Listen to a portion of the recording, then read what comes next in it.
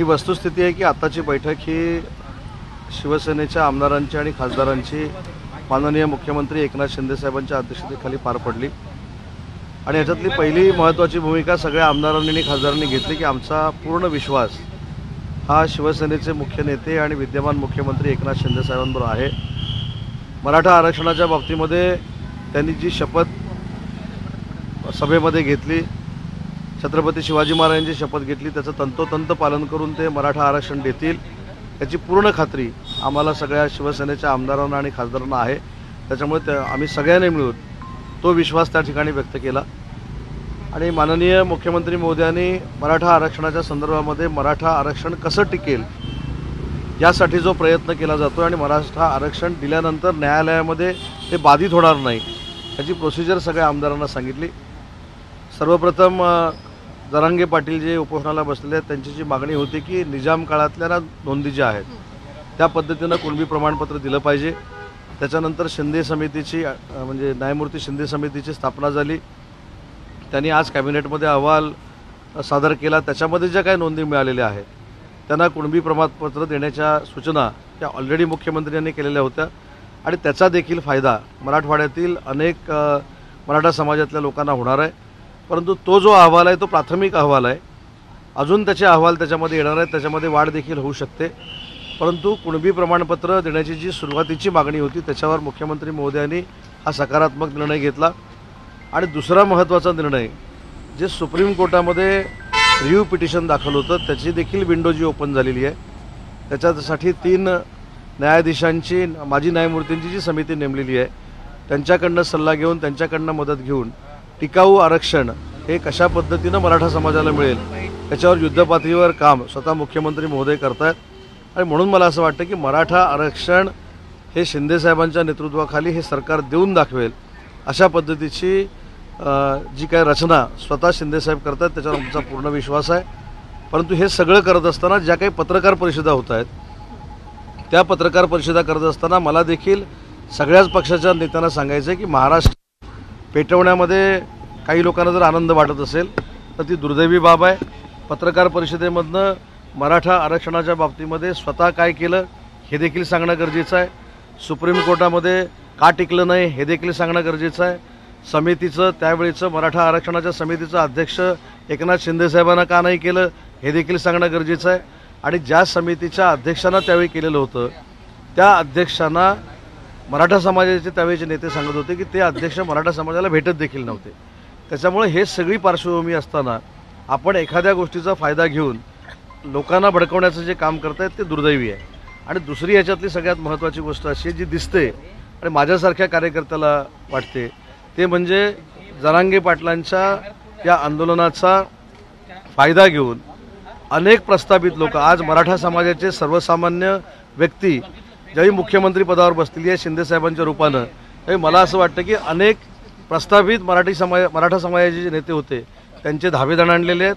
आणि म्हणून कुठूनही त्या सर्वसामान्य मराठा समाजाच्या व्यक्तीला मुख्यमंत्री बसल्यावर अडचणीत आणायचं कुठून तरी टार्गेट करायचं अशा पद्धतीची भूमिका या आंदोलनाच्या मागणं घेतली जाते की काय असा देखील एक संशय येण्यासारखं वातावरण निर्माण झालेलं आहे. आणि म्हणून जरांगे पाटलांना देखील मला विनंती करायची आहे या सगळ्या गोष्टीचा त्यांनी देखील विचार केला पाहिजे. मला असं वाटतं की अशाच चळवळीतनं जरांगे पाटलांसारख्याच चळवळीतनं महाराष्ट्र राज्याचे मुख्यमंत्री एकनाथ शिंदेसाहेब हे राजकारणामध्ये मोठे झालेत. त्यांना सर्वसामान्यांची दुःख माहिती आहेत मराठा समाजाची दुःख माहिती आहेत तसेच सगळ्या समाजाची दुःख माहिती आहेत. परंतु काही लोकांना सर्वसामान्य मराठा समाजाचा मुख्यमंत्री झाला आहे हे रुचत नाही हे पचत नाही. आणि म्हणून जे मागून राजकारण आंदोलनाच्या पार्श्वभूमीवर करतायत ते देखील चुकीचं आहे. काल यवतमाळचा जर आपण मुख्यमंत्री महोदयांचा दौरा बघितला असेल तर प्रामाणिकपणानं महाराष्ट्र राज्याचे मुख्यमंत्री यवतमाळच्या त्या कार्यक्रमाला गेलेले होते. कार्यक्रम झाला. मला देखील सगळ्या मीडियाला एक हात जोडून विनंती करायची आहे की आपण देखील परवा कालच्या कार्यक्रमाचं जर ब्रिफिंग घेतलं असेल तर सी एम साहेबांचं भाषण झालं. सी एम साहेबांचा कार्यक्रम संपला. सी एम साहेब मार्गस्थ झाले आणि त्याच्यानंतर काही लोकांनी झेंडे दाखवले. ते जे झेंडे दाखवणारी लोक होती ती जरांगे पाटील साहेबांबरोबर आंदोलनामध्ये काम करणारी लोक नव्हती. ती एका पक्षाचे कार्यकर्ते होते. आणि त्यावेळेपासून खऱ्या अर्थानं संशय यायला लागलेला आहे की मनोज जरांगे पाटील ज्या प्रामाणिक पद्धतीनं आंदोलन करतायत त्या आंदोलन आंदोलनांना पुढे ठेवून फक्त आणि फक्त मुख्यमंत्री साहेबांना टार्गेट करून त्यांना बदनाम करण्याचा आणि त्यांच्या विरोधात आंदोलन हे मराठा समाज करतंय असं दाखवण्याचा काही पक्ष प्रयत्न करतायत. जे खरोखरच प्रामाणिक आंदोलन करतायत मराठा समाजाचे त्यांना देखील आम्हाला विनंती करायची आहे की सरकार तुमच्यासोबत आहे. एकनाथ शिंदेसाहेब तुम्हाला आरक्षण देऊन दाखवतील आणि ते सकारात्मकदृष्ट्या पुढे जात आहेत तेच मार्गदर्शन त्यांनी आम्हाला केलेलं आहे. आणि पक्ष म्हणून आम्ही आमदार खासदार मंत्री सगळे एकनाथ शिंदेसाहेबांबरोबर आहोत हे आम्ही जाहीर केलेलं आहे. पण आजच्या बैठकीमध्ये काही ठोस या संदर्भात निर्णय झालाय की कारण कारण की आता सध्या जे आहे ते आमदारांवर त्यांच्या घरांवर दगडफेक करणं किंवा जाळपोळ करणं असे असे देखील आता गोष्टी दिसून आलेल्या आहेत. हे खरं दुर्दैव आहे कारण आपल्याला माहीत असेल की चौदा ते एकोणीसमध्ये अनेक मराठा समाजाचे मोर्चे निघाले अतिशय शांतपणानं निघाले. एवढंच नाही तर एवढी शांतता होती की ज्यांना आता मराठा समाजाचा पुळगा आला आहे त्यांच्या मुखपत्रातनं सामनातनं हा मुका मोर्चा आहे. आणि अश्लील फोटो देखील छापलेला होता. तेव्हा देखील मराठा समाजाने संयम ठेवलेला होता. इतकं आदर्शवत आंदोलन या महाराष्ट्रानं मराठा समाजाचं बघितलेलं आहे.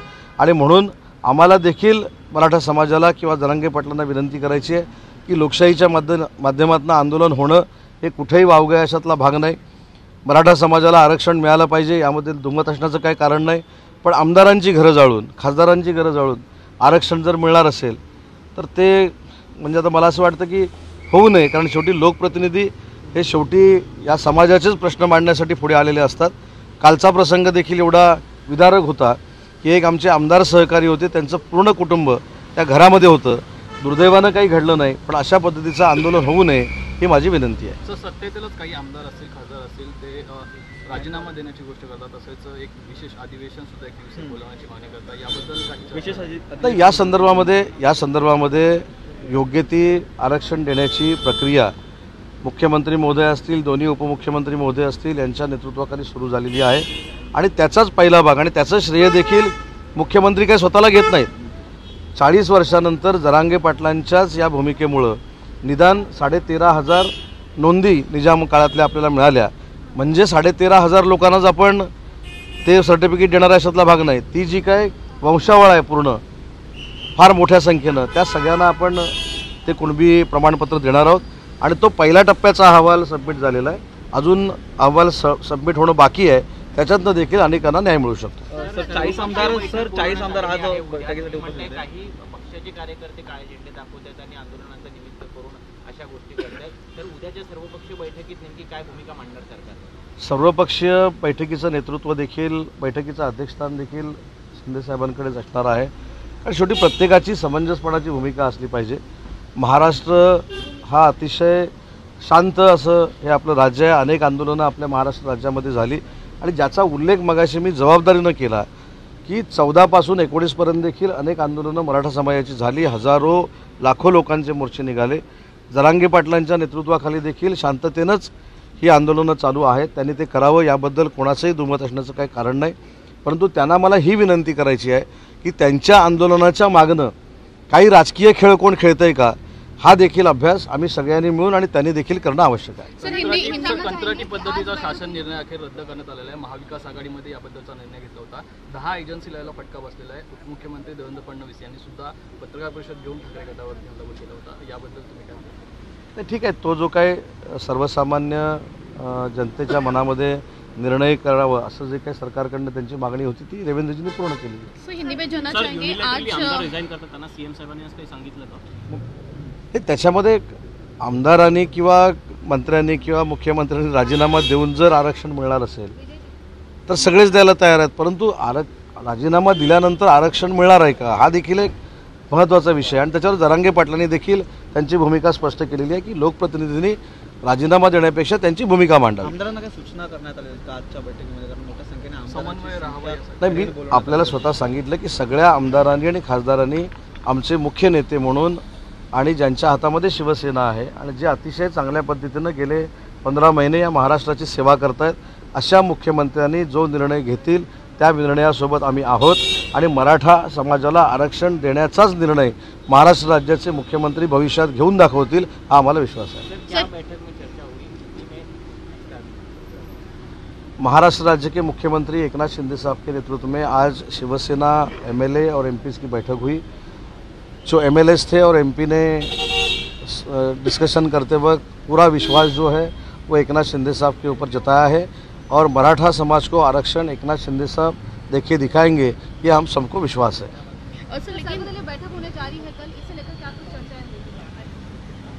मेरे ख्याल से कल कल की जो बैठक है वो अ, सब पार्टी की है सब पार्टी लीडर वहाँ रहेंगे। और यही अ, उस पर डिस्कशन होगा कि महाराष्ट्र राज्य की राजनीति ये शांत होनी चाहिए ये आंदोलन शांत होना चाहिए और राजनीति करके ये आंदोलन का फ़ायदा लेके किसी ने भी राजनीति नहीं करनी चाहिए यही इसमें बैठक में चर्चा होगी। और मेरे ख्याल से सब पार्टी जो है महाराष्ट्र के ये आंदोलन शांत करने के लिए प्रयास करेंगे। नहीं हमारे नेते हमारे मुख्य नेता जो महाराष्ट्र राज्य के मुख्यमंत्री है वही कल के मीटिंग के चेयरपर्सन रहेंगे उनके नेतृत्व में बैठक होगी। सर लेकिन जिस प्रकार और जो है वो भी इस्तीफा दे रहे हैं। क्या नहीं रिज़ाइन देने से आरक्षण नहीं मिल सकता। उसके लिए जो डिसाइड किया हुआ पूरा प्रोग्राम है वो मेरे ख्याल से मुख्यमंत्री महोदय आगे लेके जा रहे हैं। उसमें शिंदे समिति जो गठित की थी उसका अहवाल आज आ गया है और कुंभी प्रमाण पत्र देने के लिए जो नोन चाहिए थी वो नोन मिली है और वो कुंभी प्रमाण पत्र दिया जाएगा। और दूसरा जो कोर्ट में सबमिशन किया है रिव्यू पिटिशन उसके बारे में भी स्ट्रांगली वहाँ जो कहना है वहाँ जो आर्गुमेंट करना है वो करने के लिए भी सरकार राज़ी है।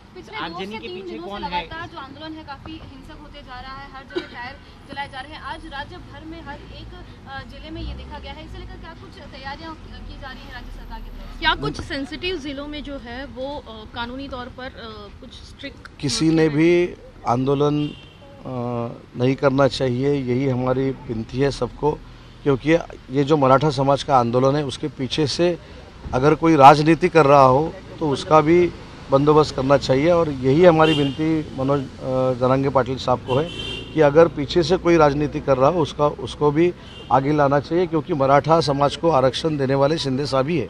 एक दिवसीय अधिवेशन बोलवा, असं आता जरांगे पाटील म्हणतायत.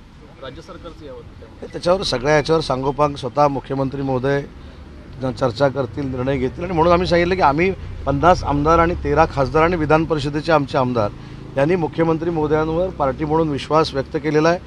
तो जो निर्णय घेतील तो मराठा समाजाच्या हिताचाच घेतील याची आम्हाला पूर्ण खात्री सर एक सर एक एक सवाल पूछती हूँ। एक तरफ़ जो है उप मुख्यमंत्री अजीत पवार को डेंगू की वजह से वो नहीं आ पा रहे हैं। दूसरी ओर उप मुख्यमंत्री देवेंद्र फडणवीस जो है वो चुनाव के लिए बाहर राज्यों में जाते हुए नज़र आ रहे हैं। इस बात को लेकर जो है वो सरकार को घेरने की कोशिश विपक्ष से हो रही है। विपक्ष क्या कर रहा है वो छोड़ दो।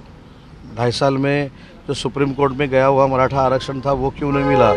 अगर ये हम कहें तो राजनीति होगी इसलिए हम नहीं बोल रहे।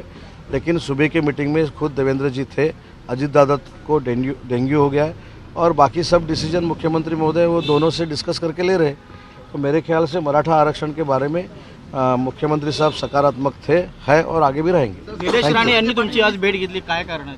निलेश राणे. यांनी तुमची भेट घेतली निलेश राणे कोकणातले माझे एक चांगले मित्र आहेत आज काही कोकणातल्या कामांसाठी सिंधुदुर्ग जिल्ह्यातल्या कामांसाठी ते माझ्याकडे आलेले होते विकासात्मक कोकणाला कशा पद्धतीनं पुढं न्यायचं शिंदे साहेबांकडनं कशा पद्धतीने निधी उपलब्ध करून घ्यायचा देवेंद्रजींकडनं कसा करून घ्यायचा राणे साहेबांच्या नेतृत्वाखाली एम एस एम ई कशी डेव्हलप करायची याच्यावर सविस्तर चर्चा झाली. किरण सावंत पण उपस्थित होते म्हणजे रत्नागिरी लोकसभा मतदार मला असं वाटतं की आताची आताची जी प्रेस कॉन्फरन्स आहे ती मुख्यमंत्री महोदयांकडे झालेल्या बैठकीसंदर्भात आहे. निलेश राणेंची आणि माझी बैठक का झाली याची सविस्तर पत्रकार परिषद मी नंतर घेईन. सर एक प्रश्न. जरांगे पाटील यांनी असं देखील म्हटलं आहे सरकारचा एकही निर्णय आम्हाला मान्य नाही. त्यांनी काय? नाही त्यांनी काय म्हटलंय सरकारनं काय म्हटलं ह्याच्यापेक्षा मराठा समाजाला टिकणारं आरक्षण आम्हाला देऊन दाखवायचं हीच सरकारची भूमिका आहे. विकासाचा ध्यास म्हणजे show me